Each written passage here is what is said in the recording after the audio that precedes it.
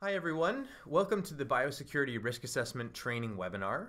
Uh, my name is Dr. Steven Roche and we have here Dr. Dan Shock as well. Uh, it's March 2018 and we're going to be walking through exactly what is biosecurity and how, we, how do we want to conduct the biosecurity risk assessment on farm. A little bit more about me. Uh, again, my name is Dr. Steven Roche. I work for Acer Consulting, which is a research consulting company I've set up. And we're working with the Dairy Farmers of uh, Canada to develop a number of resources to educate veterinarians, dairy producers, and other end users in the Canadian dairy industry on ProAction and how this program really is going to be rolled out and delivered. So, hi everyone, I'm Dr. Dan Shock. I'm a bovine vet and I am also an epidemiologist and consultant at Acer Consulting. So some training goals and objectives uh, for the webinar today. First, we really want to just review what is ProAction and where does biosecurity as a module fit within the program uh, nationally. Uh, second, we'll discuss the roles, responsibilities, and expectations of you as a veterinarian, as well as some of the other members uh, in the uh, industry that play a key role and have really a, an important responsibility with respect to the uh, implementation uh, and compliance of ProAction. Third, we'll explain the intent of the biosecurity risk assessment and how it's uh, developed. And then we would give you a bit of instruction and guidelines on the on farm implementation of the risk assessment uh, for your clients. So just to start high level, uh, what is ProAction? Well, ProAction is a national quality and customer assurance program for Canada, or for the Canadian dairy industry.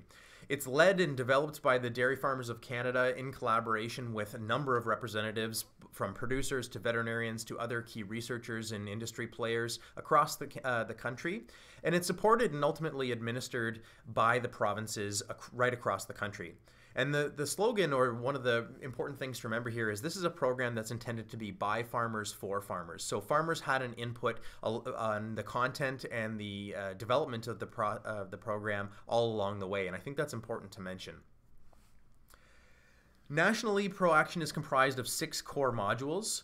The first is milk quality, followed by food safety, and then four new modules to the industry, the first of which is animal care, livestock traceability, biosecurity, and environment. And of course, for this webinar, our focus is going to be on biosecurity specifically. So next we'll take a look at what actually are we talking about when we're referring to biosecurity. So as we all know, it's a series of practices that are designed to really prevent, reduce, or eliminate both the introduction and the spread of disease among populations of animals. So again, disease costs us in terms of time and money. So we all know an ounce of prevention is better than a pound of cure, and that follows with disease. Uh, good, good biosecurity ensures healthy and productive herds.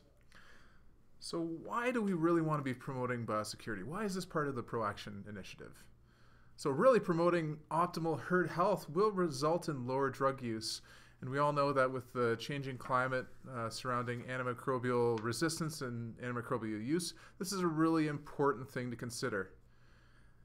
Next is having a robust biosecurity program allows us as a country and an industry to deal with uh, the global threat and emergence uh, and reemergence of bovine infectious diseases. So things like foot and mouth, uh, bovine spongiform encephalopathy, things that arm us to be uh, resilient in, in the face of these diseases.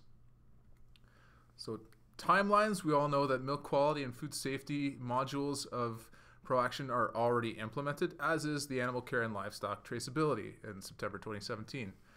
So really we're focusing on the biosecurity module that will be implemented in September 2019. So by September 2019, producers are expected to be compliant with the requirements of the biosecurity module that we'll go through now.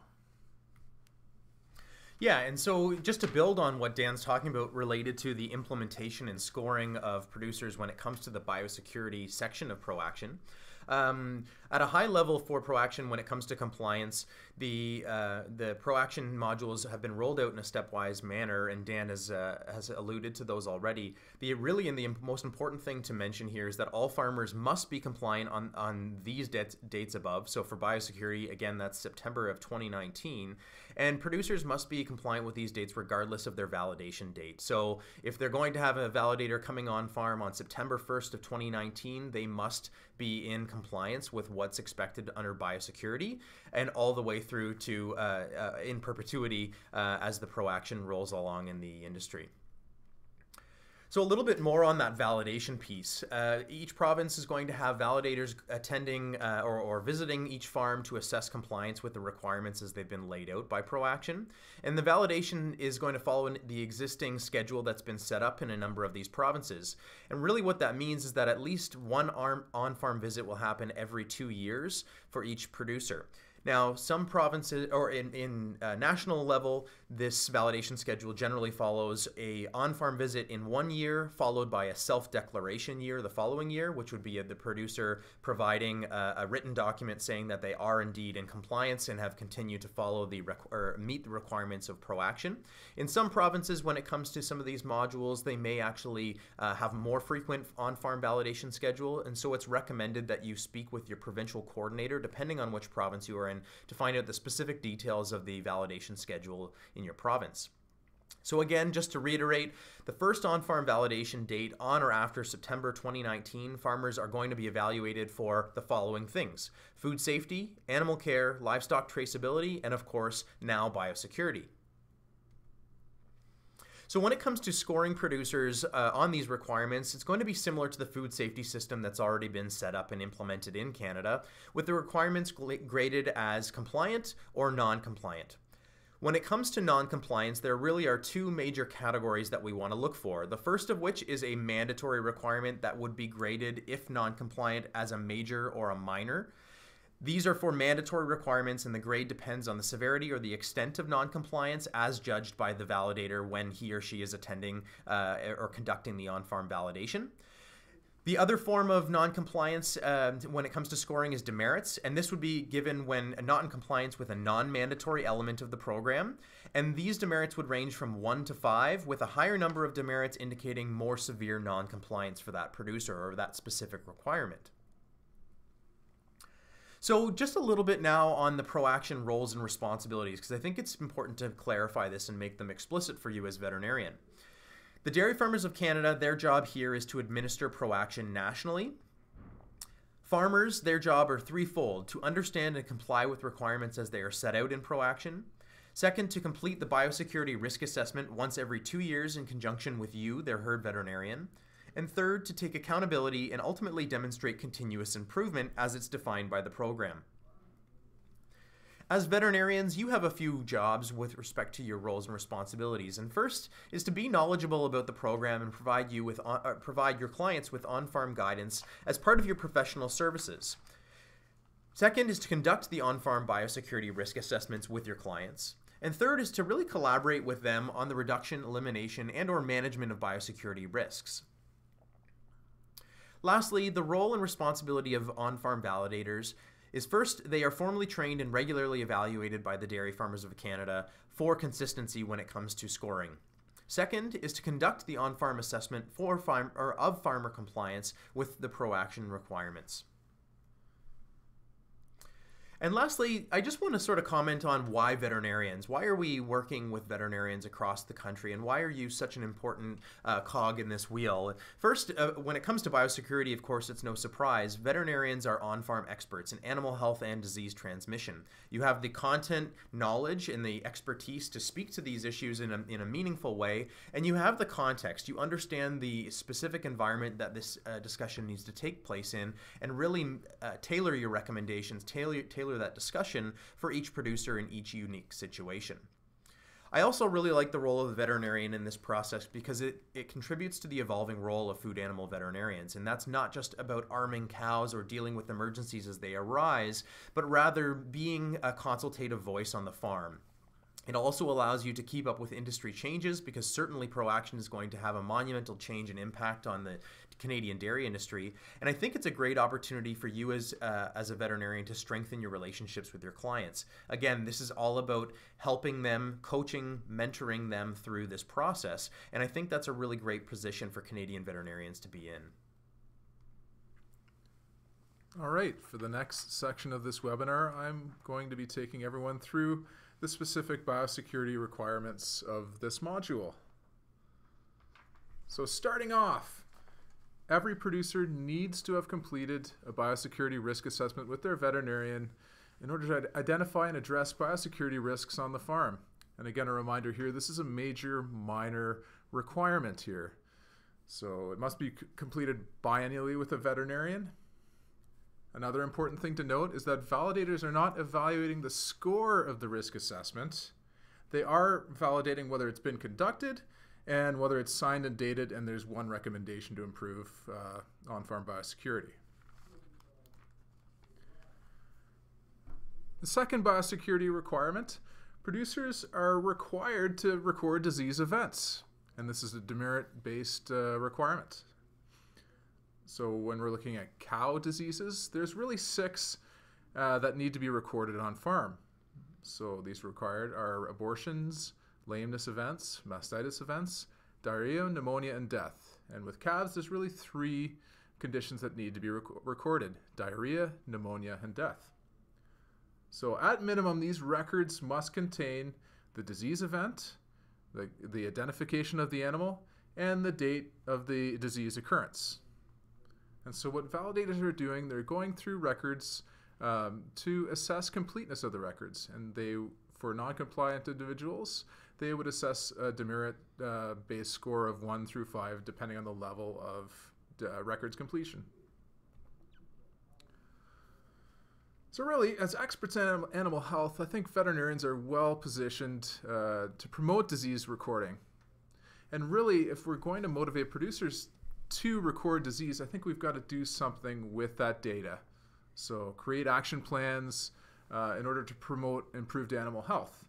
I think this is an excellent opportunity to bring added value to your clients because we all know if we're not measuring disease, you really can't manage it. You don't have that level of control over it and ultimately you can't improve so that's the ultimate goal of ProAction is to improve animal health on uh, dairy operations as a little bit of a disclaimer we're the disease definitions that we'll go through today are not specific case definitions outlined in proaction they're really industry or vet recommended definitions that serve as a guideline when you're working with your producers uh, in order to decide what diseases they should be recording. So we really want to make sure everyone's on the same page. So to go through the specific diseases, uh, commonly uh, commonly held definition of abortion is really the expulsion of the fetus between 42 days and 260 days of gestation. When we're looking at mastitis, we really want to make sure producers are attuned to the clinical signs that we're looking for with mastitis infections. So changes in the milk, so color, consistency, clots presence. There may or may not be changes in the quarter, so the cardinal signs of inflammation, redness, heat, pain, swelling could be could be present as well. And also systematic system, systemic signs of disease, so fever, inappetence, lethargy, dehydration. The next case definition that we'll go over is lameness. And really, we're basing this on these definitions on the animal care assessments uh, that the producers are currently being uh, assessed with. So, two different ways of looking at things depending on the, the housing type. So, tie stalls, we're going to define lameness as any of these two, two of these four behaviors. So, repeated weight shifting, uneven weight uh, bearing, standing on the edge of the stall, and uneven movement. In a free stall, it could be a, there could be a presence or absence of a limp. There might also be the presence of seven indicators of lameness, such as reluctance to bear weight, asymmetric stepping, poor tracking, jerky head movements, joint stiffness, rear leg lateral movement, and arch back. So really uh, trying to look at the signs that cows are showing us and classifying them as lame. The next disease definitions, so diarrhea, and this could apply for mature cattle and calves as well. Uh, diarrhea, really a lowering of the viscosity of the manure, so it's becoming more watery. It's often uh, at an increased volume and frequency of defecation. There may or may not be blood or fibrin present in the manure, plus or minus dehydration as well in the in that cow or calf. When we're classifying pneumonia, uh, we're looking for signs. We're trying to teach the producer to look for signs of uh, increased respiratory rate, uh, dyspnea or increased effort in breathing, nasal discharge is that present, harsh lung sounds, there may or may not be a fever. So really this section is about starting the conversation and making sure everyone's on the same page when we're recording disease events on farm. Okay, so the third uh, biosecurity re- requirement reads Have you established and implemented a standard operating procedure in consultation with your veterinarian for vaccinating against specific, specific diseases of concern? This is a major minor requirement and has one required element. That requirement um, is uh, ultimately to document the products, the group of animals, and any other information that's required for the vaccination program. And it's important that to, to note that it's recommended that farmers consult with their veterinarian to establish a vaccination program based on their specific herd's cattle health management plan. So you can see in the wording of this requirement and several others that will move forward, there's really a promotion of the of farmers working with their veterinarian to uh, establish proper procedures when it comes to biosecurity and the management of the health of their animals. One specific note I want to mention here uh, related to this requirement is that ProAction is not requiring that farmers uh, actually vaccinate their animals. All farmers must absolutely have an SOP, but farmers are not required to vaccinate their herd, and they simply must have an SOP indicating they do not vaccinate if that's what they choose to do.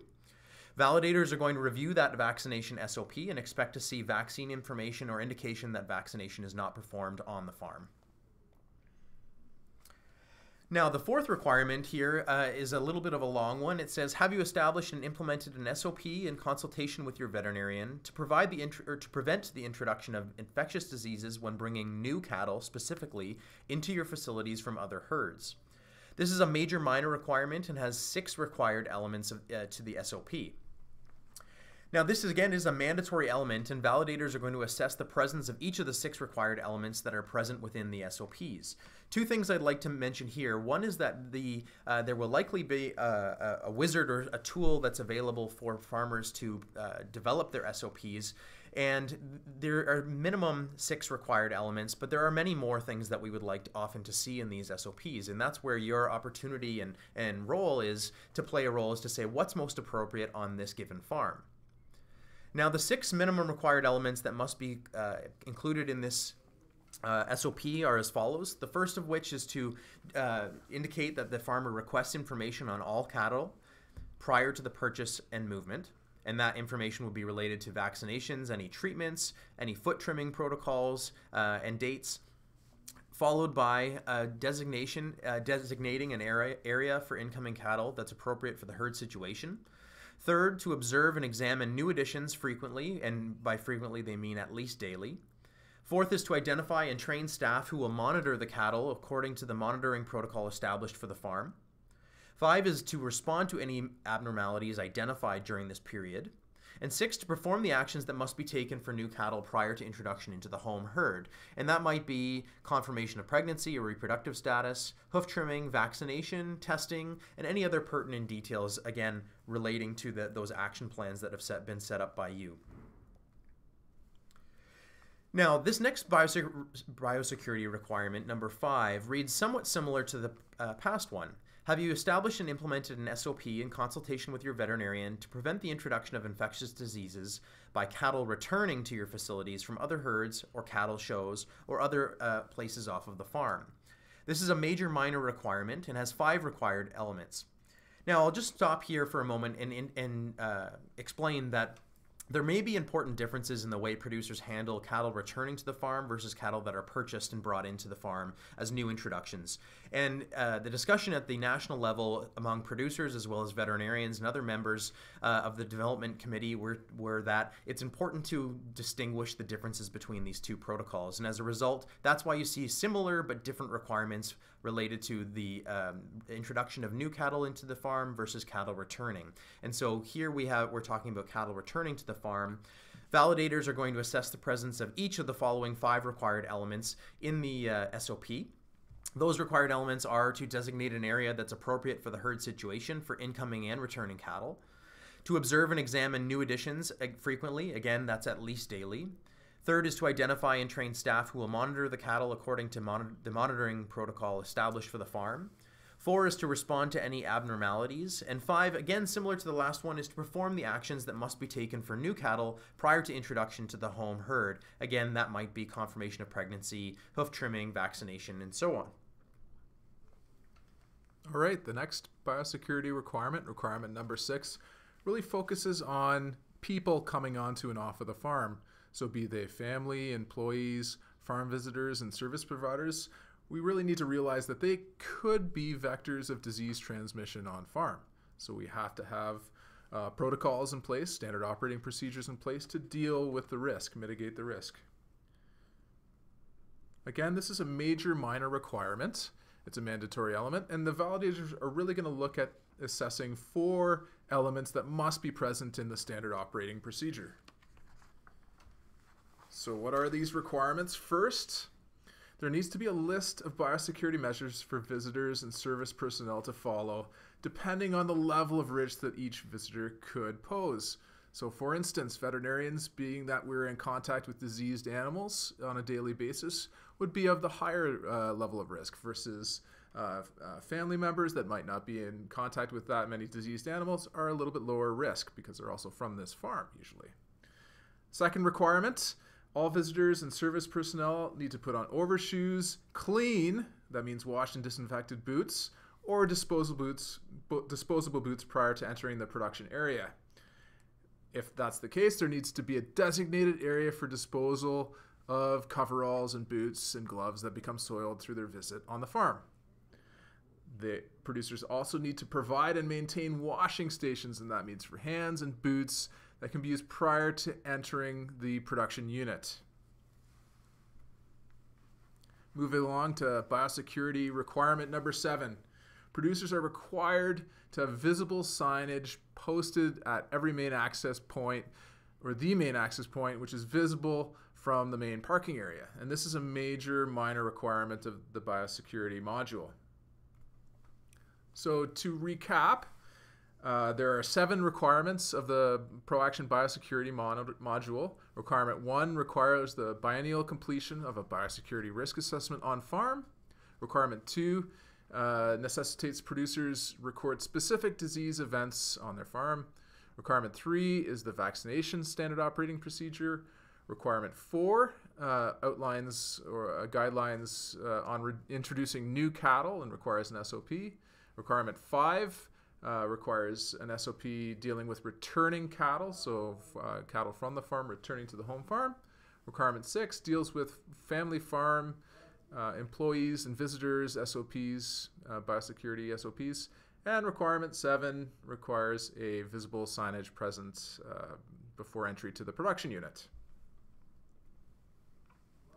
So for this next section, Steve and I are going to take you through how to conduct the biosecurity farm risk assessment.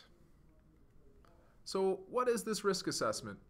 It's based on national standards for biosecurity on dairy farms, and this was developed in conjunction with uh, the CFIA, so the Canadian Food Inspection Agency, and the Dairy Farmers of Canada in 2012 to highlight key risk areas on Canadian dairy farms. It provides the framework um, for which or by, uh, upon which biosecurity's ProAction module was based.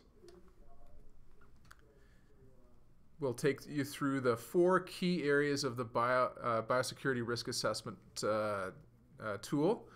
The first being animal health management, the second looking at animal additions and movement, the third being premises and sanitation management, and the fourth personnel, vehicles, and equipment. So we're assessing risk in all these key four areas of the dairy farm. So some things to keep in mind when conducting the biosecurity risk assessment. These must be completed biennially and, biennially and signed and dated by the veterinarian. There needs to be a minimum of one recommendation for management change to improve biosecurity and we recommend that these are realistic and feasible changes that can be implemented by producers. The real goal of this risk assessment is to provide focused vet farmer discussions about how to reduce, eliminate, or manage identified risks throughout the farm. Some additional comments on conducting the biosecurity risk assessment. These are designed to be conducted on farm, specifically with the area of interest that we're assessing in the risk assessment. The suggested order is based on disease risk and susceptibility. So we, uh, we recommend starting with young calves, moving into the milking herd, and then finally sick animals. We really want farmers to give an honest estimate for the frequency of each practice. So does it does this farmer always or off, always uh, practice this practice? So greater than 95% of the time? Almost always, so 70 to 95% of the time. Sometimes, so that can be in the range of 1 to 69% of the time, or never, not at all, 0% of the time.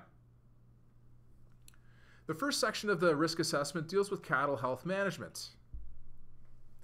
And really, these first three questions are focusing on contact of susceptible animals with other animals.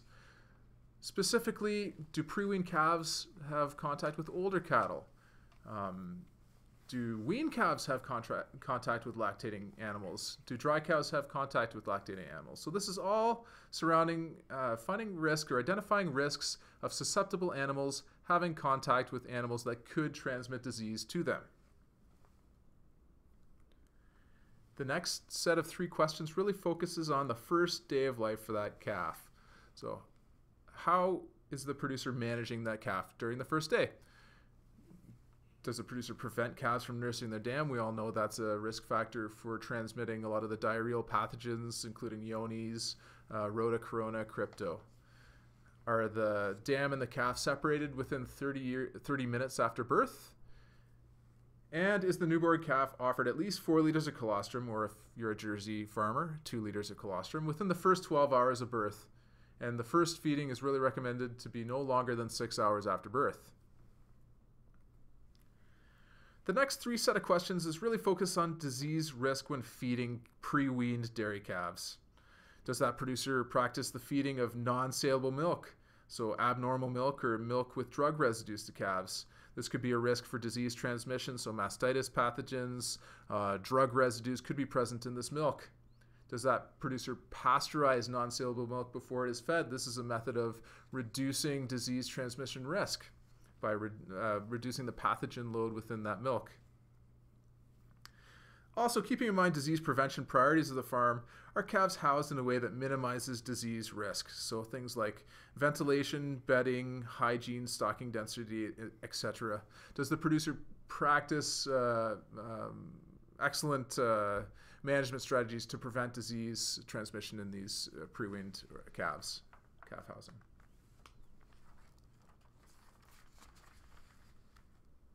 Moving along, these next two questions really focus on cow immunity, and we'll bring it back to the standard operating procedure for vaccination.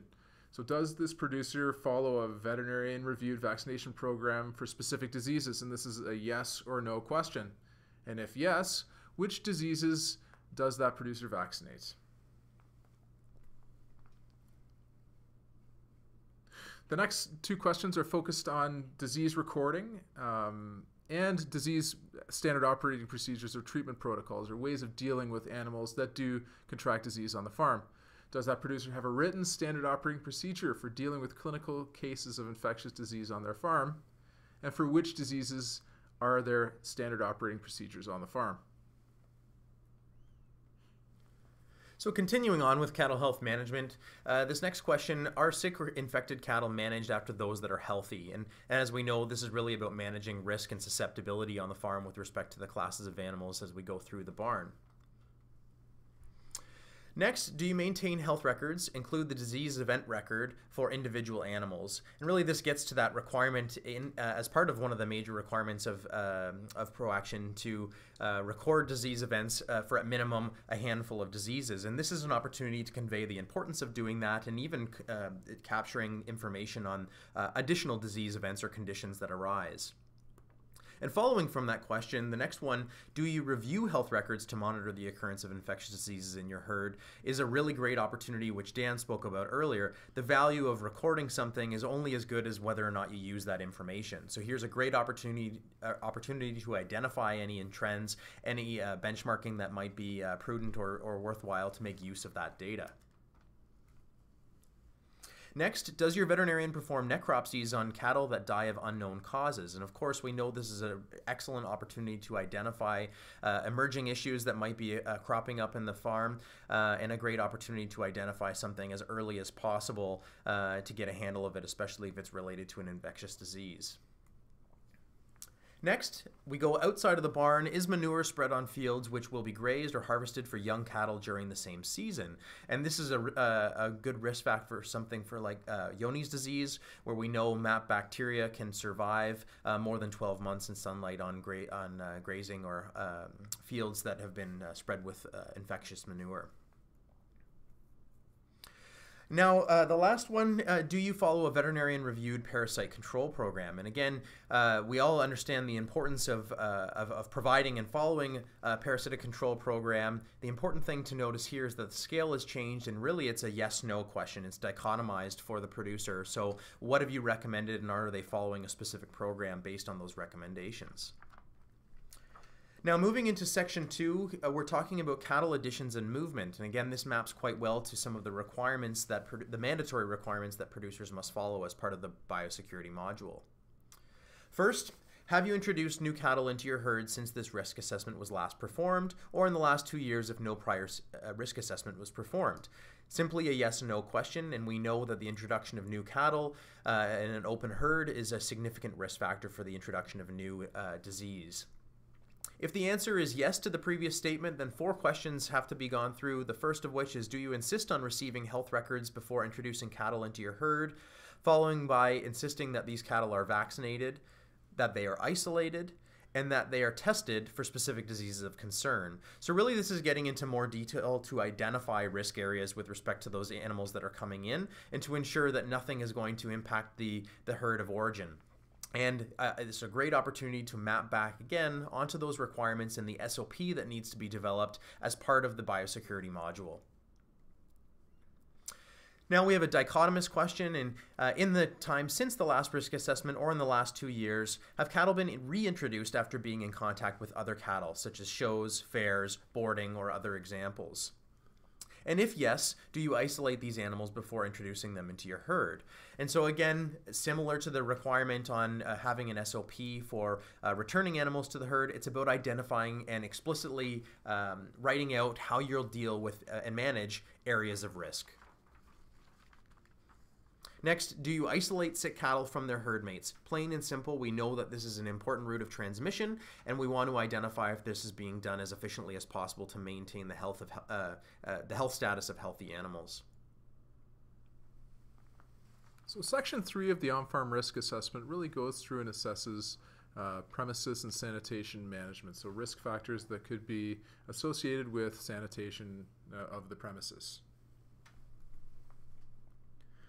These first two questions are really looking at environmental hygiene. So these are all practices associated and inf that influence udder and leg hygiene. So things like our alleyways scraped, flushed frequently enough to prevent manure accumulation of on the cow's feet and feet and legs, and our cow's stalls cleaned frequently enough to prevent manure contamination of their udders. The next two questions really focus on housing of sick animals. Uh, and this is really all about breaking the cycle of disease transmission. So, after a sick animal has been housed in a pen, uh, does that producer disinfect pens uh, be- between uses of each animal? Do they have e- even have a, de- a, designated area for sick animals? Because as Steve alluded to before, these are the animals most likely to be shedding pathogens to susceptible individuals. So we really want to make sure they're isolated on a farm. The second, this next two set of questions is really focusing on the calving pen management. So, as we all know, transition cows are at an increased risk of uh, contracting uh, infectious diseases because they're in an immunocompromised state. So, does that producer clean and sanitize the calving pen after each use? And in the event that they don't clean and sanitize the pen, do they remove soiled and wet bedding uh, and add new bedding between uses? So, as we all know, we're trying to really break the cycle of disease transmission between animals. And this is what it's really all about preventing pathogen buildup and breaking that cycle. The next section really looks at cows as an outcome. So, how good a job is this producer doing at maintaining or improving the hygiene of their calving area? So, when you're looking at udders, flanks, uh, lower legs, are they free of manure in cows that are in the calving area? So that's telling us a lot about how the dry cows are being housed. Is the producer successfully managing house in a way that minimizes manure accumulation? So we know that manure accumulation on the udder can be a risk factor for not only for mastitis, but also disease transmission for that calf should she um, suckle before being uh, before being isolated. The next question focuses on fomites. So does the producer clean on-farm animal health equipment, so things like balling guns, dehorners, hoof knives, stomach tubes, etc., after each use? So we all know that these implements are more likely to be used in sick animals, so it's even more important that we ensure that they're adequately sanitized between each use, again, to try and break that cycle of disease transmission between infected and susceptible animals. The next question really focuses on whether the same equipment is being used to clean the environment that's being used to feed animals because as we all know there's a lot of diseases in adult and uh, immature cattle that uh, are of the fecal oral transmission route. So if a producer is using the same implements to do both functions that's a big risk factor for disease transmission on the farm. The next question looks at using common rectal sleeves when uh, breeding animals. So as we all know, uh, using common rectal sleeves between cattle has been suggested as a risk factor for bovine leukosis virus disease transmission. And so, really, for this question, it's important that vets lead by example and that we're not uh, practicing this, this practice as well. The next question looks at uh, when, when producers are vaccinating, treating, or taking blood samples from an animal. Is a new needle use for each animal. So this is really important, specifically at decreasing the transmission of bloodborne infections such as bovine leukosis virus. And also sharp needles minimize stress on the animal and reduce the chances that there will be broken needles within that animal. The next question looks at the management of dead animals on the farm. So these are potential sources of infection. So these animals could have died of an infectious disease. So we really want to promote producers to store these animals in such a way that they're inaccessible to animals that could act as vectors for disease. So uh, cats, birds, rodents, they're having access to these dead animals could be a risk factor for transmitting infectious disease on the farm. So we want to really isolate these dead animals.